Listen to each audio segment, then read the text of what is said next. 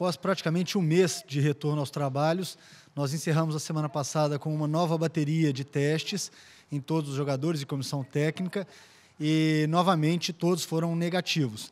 Então, com isso, nós damos prosseguimento ao nosso planejamento.